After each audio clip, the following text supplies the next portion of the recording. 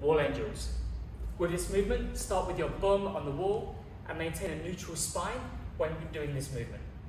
Your elbows push back to the wall, your rib boobs all the way down, and then make sure your wrists and your elbows stay connected to the wall all the way through the movement, going slow, reaching those points of performance when doing it.